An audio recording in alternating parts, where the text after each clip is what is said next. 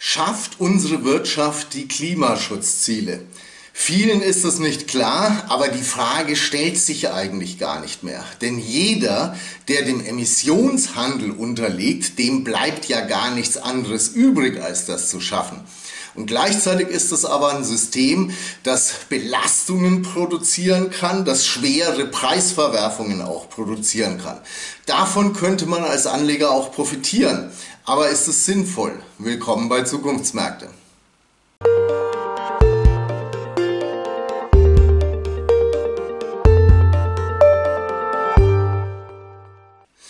Stellen wir uns mal vor, Sie haben ein bisschen Geld auf dem Konto, das Sie ausnahmsweise mal nicht für Aktien verballern wollen. Schade eigentlich, aber gehen wir einfach trotzdem mal davon aus. Was könnten Sie damit machen? Sie könnten sich zum Beispiel ein kleines Balkonkraftwerk kaufen. Dann wissen Sie schon mal, Ihre Kaffeemaschine, die läuft in Zukunft mit Sonnenstrom und das ist sehr klimafreundlich. Es geht aber natürlich auch ganz anders. Sie könnten ja mit dem Geld zum Beispiel auch schnell mal nach Malle fliegen. Kurztrip an den Ballermann, Halligalli, Drecksau Party. Das ist dann schon deutlich weniger klimafreundlich. Der Witz ist nur, es spielt überhaupt keine Rolle. Und es gibt noch mehr Dinge, die eigentlich keine Rolle spielen. Zum Beispiel, es ist ja beschlossen worden in Deutschland, dass wir hier unsere Kernkraftwerke abschalten und dadurch ist einer unserer wichtigsten Energieträger jetzt ja wieder Kohle auf absehbare Zeit. Ein Beschluss, der sehr kontrovers diskutiert worden ist. Und hier haben wir auch einen der Gegner von dieser Entscheidung, Markus Söder von der Last Generation, am Tag der Abschaltung von ISA 2, kurz bevor er sich da an den Zaun klebt. Er hat viel Beifall bekommen für die Aktion. Das kam allerdings alles etwas spät. Aber sogar das spielt fürs Klima am Ende keine Rolle. Und warum sage ich das? Weil ich ein Klimawandelsleugner bin? Nein, bin ich nicht. Und es geht mir auch nicht darum, dass ich jetzt der Meinung wäre, das bisschen CO2 hier bei uns, das würde nicht ins Gewicht fallen. Sondern es geht um Folgendes. Ein großer Teil von unseren CO2-Emissionen, der ist schon längst einem System unterworfen, das diese Emissionen reguliert, nämlich dem europäischen Emissionshandel. Das wird in der Debatte fast immer vergessen und das hat aber schwerwiegende Konsequenzen. Zum Beispiel, Sie bauen sich jetzt ein Balkonkraftwerk. Dadurch verbrauchen Sie weniger Kohlestrom. Das ist so. Ihr Versorger, der hat für diesen Kohlestrom aber schon die Verschmutzungsrechte eingekauft. Die braucht er jetzt nicht mehr. Die kann er auf dem Markt jetzt wieder verkaufen. Jeder, jemand anderer kauft sie und kann damit dann zusätzlich mehr CO2 produzieren. Das, was Sie eingespart haben, haut also automatisch jemand anderer dafür wieder raus. Oder umgekehrt, Sie fliegen für vier Tage nach Mallorca, ein sinnloser innereuropäischer Flug, der aber dem Emissionshandel unterliegt. Und die Fluggesellschaft muss dafür Emissionsrechte kaufen. Und ob jetzt Sie damit durch die Gegend fliegen oder jemand anderer die Emissionsrechte nutzt, das ist unterm Strich egal. Die Gesamtmenge der Emissionen bleibt unverändert. Und das gleiche natürlich auch mit unserem Kohlestrom.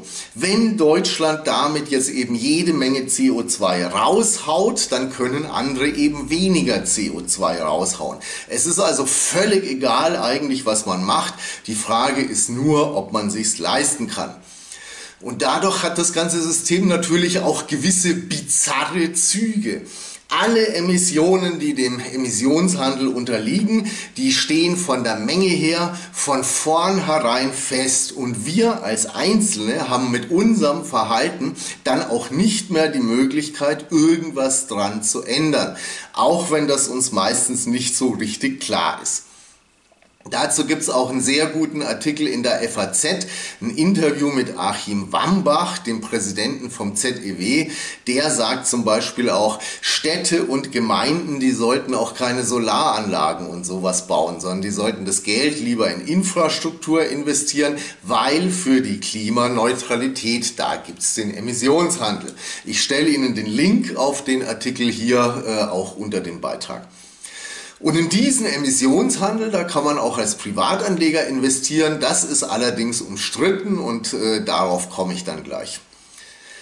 Man hat sich ja bei dem ganzen System natürlich schon was gedacht. Der große Vorteil ist, bei allen Emissionen, die davon erfasst sind, da werden die Klimaziele auch erreicht. So oder so bis aufs letzte Gramm. Und das ist ja auch schon was.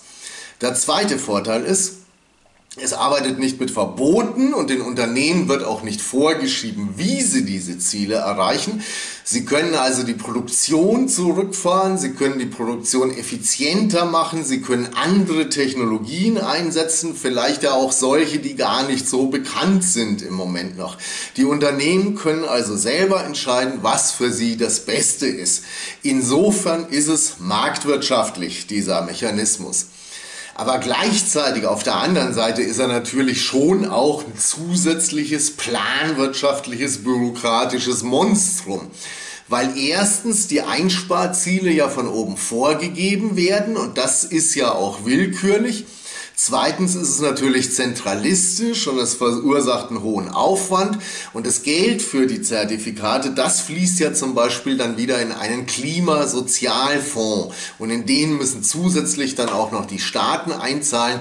Und dadurch entsteht dann aber natürlich wieder eine große Umverteilungsmaschinerie, die auch nicht unbedingt jetzt die Unternehmen entlastet, die davon betroffen sind.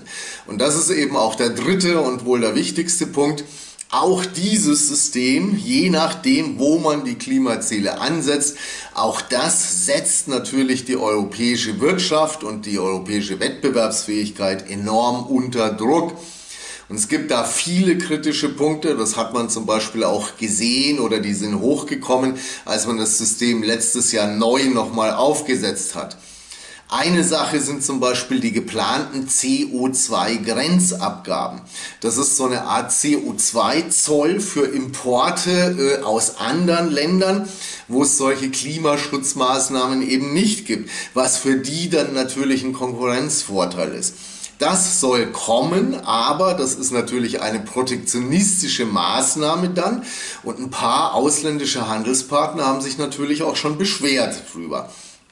Und es umfasst aber eben natürlich auch nicht alle Importe, zum Beispiel keine weiterverarbeiteten Produkte, so Sachen wie Autotüren beispielsweise, sodass die europäische Industrie natürlich immer noch hohe Wettbewerbsnachteile hat dadurch.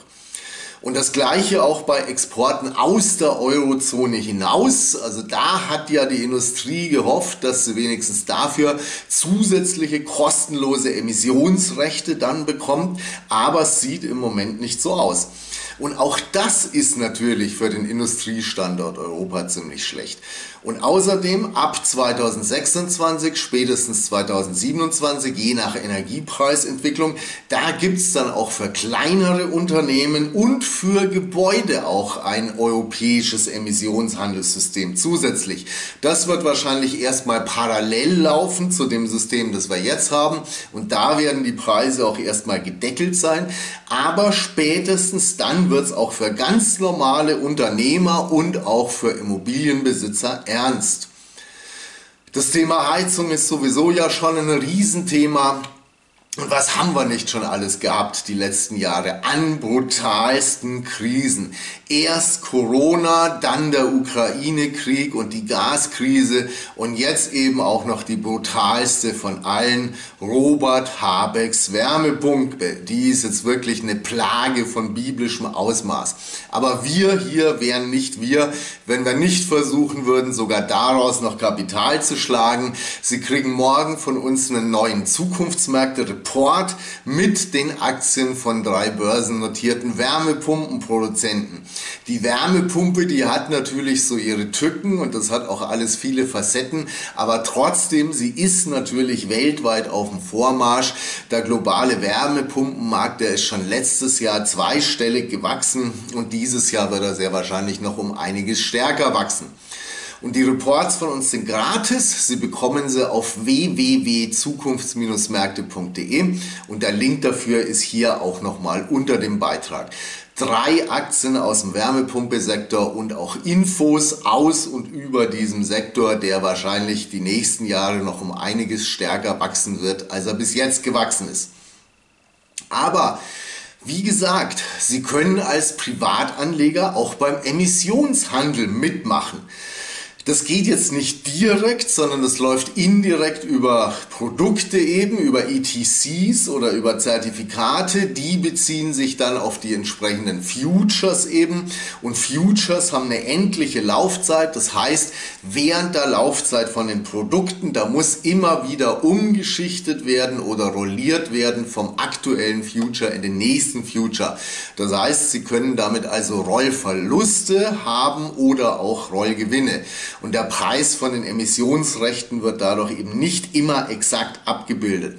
Und außerdem haben sie natürlich auch noch das Emittentenrisiko, das ist klar. Und das ist mal das eine. Man kann aber trotzdem davon ausgehen, dass mit diesen Produkten die Preisentwicklung halbwegs abgebildet wird, zumindest. Und es gibt einige Produkte auf dem Markt. Sie kriegen von mir auch einen Link zu einem Informationsblatt von einem dieser Produkte von der Societe Generale. Nicht, weil die mich jetzt sponsern würden oder weil das Produkt von denen ganz besonders gut ist, aber die haben das eben auf diesem Informationsblatt ganz gut dargestellt.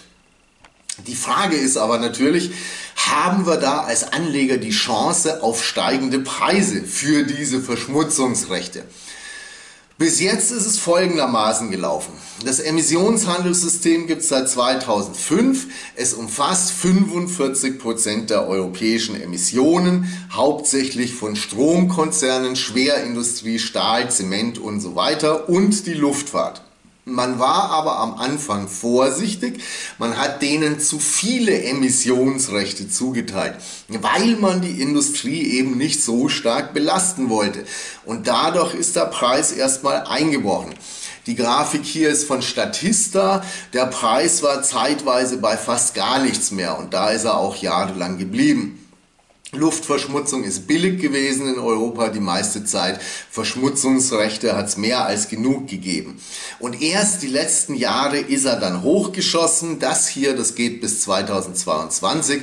Da ist dann ja das System auch neu aufgestellt worden wieder. Und dieses Jahr waren wir dann aber schon bei über 100 Euro und im Moment sind wir bei knapp unter 90 Euro. Das hier ist der Spotpreis für die Emissionsrechte von der EEX, der European Energy Exchange in Leipzig. Da werden die unter anderem gehandelt. Auch diesen Link stelle ich Ihnen hier unter den Beitrag rein. Das ist aber die nächste Schwierigkeit für Sie als Anleger. Es gibt nicht so richtig viele und nicht so richtig gute Marktdaten und es wird auch sehr wenig über diesen Markt berichtet und es macht jetzt auch nicht ständig irgendwer Videos drüber hier auf YouTube. Sie haben also nicht unbedingt immer ausreichend Informationen dazu. Aber am Ende müssen Sie sich eben die Frage stellen, Gehen Sie davon aus, dass die europäischen Länder das durchziehen mit den Klimazielen und dass sie die Emissionsrechte dann auch wirklich konsequent verknappen? Oder knicken sie irgendwann mal wieder ein? Im Moment ist geplant, dass die damit erfassten Emissionen bis 2030 schon relativ zu 2005 um 62 Prozent sinken sollen. Und dafür werden Jahr für Jahr Emissionsrechte aus dem Markt genommen und ab 2034 soll es gar keine kostenlosen Emissionsrechte mehr geben. Das sind Ziele, die kann die Industrie meiner Meinung nach kaum schaffen. Und es läuft meiner Meinung nach auch auf Preise raus, die mittelfristig nochmal deutlich steigen. Und das ist ja auch politisch so gewollt und das würde stark für diese CO2-Zertifikate sprechen. Das Risiko wäre aber zum Beispiel für Sie als Anleger, wenn sich eben zum Beispiel die erneuerbaren Energien jetzt ganz, ganz schnell durchsetzen würden, sodass die, die Ziele da gar kein großes Problem mehr sind. Dann würde der Preis natürlich fallen. Oder denkbar ist auch, dass die Ziele irgendwann mal wieder doch gesenkt werden. Wenn man zum Beispiel zu dem Schluss kommt, die Belastungen für die Industrie, die sind so hoch, dass wir das so nicht durchziehen können. Und wir wissen ja auch nicht, was für Regierungen wir in fünf oder sechs Jahren haben. Die können ja ganz andere Ziele haben als die Regierungen heute. Letzten Endes sind es also Anlageinstrumente, die stark politikgetrieben sind. Es ist letztlich ein politischer Markt. Und ein weiterer theoretischer Preis oder Grund für fallende Preise, das wäre natürlich auch überspitzt gesagt, dass die Emissionsrechte darum nicht mehr gefragt sind, weil die Industrie zum Teil abwandert. Und damit haben wir natürlich auch eine der großen Schwachstellen von diesem System. Der Emissionshandel ist ein mächtiges Instrument, das aber eben auch die europäische Industrie und ihre Wettbewerbsfähigkeit stark belastet. Und wir tun aber dem Klima keinen Gefallen damit, wenn die Industrie wegen anspruchsvollen Klimazielen abwandert in Regionen ohne anspruchsvolle Klimaziele. Darum ist das große Problem mit dem Emissionshandel auch noch gar nicht gelöst, sondern die größte und die allerschwierigste Aufgabe in der Klimapolitik ist nach wie vor, dass man eben möglichst viele andere Länder da auch mit ins Boot holt. Und wie neulich schon gesagt in meinem Video zum Standort Deutschland, wenn wir unsere Wirtschaft mit der Klimapolitik schon stark belasten, dann muss sie wenigstens von irgendeiner anderen Seite her auch wieder mal entlastet werden. Man kann sie aber nicht von allen Seiten immer mehr und noch mehr belasten. Das geht in dem harten globalen Wettbewerb, in dem wir sind, irgendwann mal nicht mehr gut aus. Und das zeichnet sich ja auch jetzt schon ab. Aber wenigstens haben wir heute eins gelernt. CO2, das dem Emissionshandel unterworfen ist, das können wir mit unserem persönlichen Verhalten nicht mehr verringern. Und ich will Ihnen zwar Ihr Balkonkraftwerk jetzt nicht ausreden, aber denken Sie mal darüber nach, ob Sie mit diesem Geld vielleicht nicht lieber doch in CO2-Zertifikate investieren wollen. Die verschwinden damit, dass Sie die kaufen, jetzt zwar auch nicht dauerhaft vom Markt, weil irgendwann mal wollen Sie die ja auch wieder verkaufen, idealerweise auch mit Gewinn. Aber solange Sie die halten, sind die wirklich vom Markt und Sie verringern damit wirklich Emissionen. Der, der die sonst benutzt hätte, der muss sich dann was anderes überlegen. Und abgesehen davon, ich wollte ja schon lang mal wieder in die Berge, vielleicht mal so Gegend um Innsbruck. Und ich überlege mir ernsthaft, diesmal dahin zu fliegen von München aus, die 100 Kilometer. Ich habe zwar schon immer noch irgendwie das Gefühl, dass es mit dem Auto irgendwie doch sparsamer wäre. Aber mit dem Flugzeug ist es eben klimaneutral. Ist ja auch logisch, oder? Und das ist eben auch eine von diesen schrägen Konsequenzen aus der großen bunten Welt des Emissionshandels.